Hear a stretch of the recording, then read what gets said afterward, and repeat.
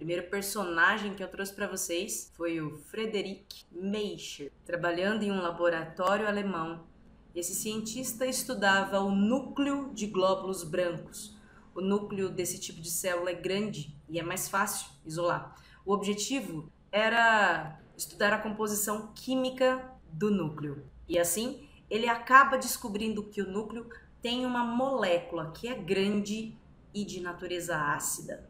Em 1869, Meischer denomina essa molécula grande e ácida de nucleína. Um pouco mais tarde, um dos alunos desse cientista consegue isolar essa molécula e troca o nome para ácido nucleico.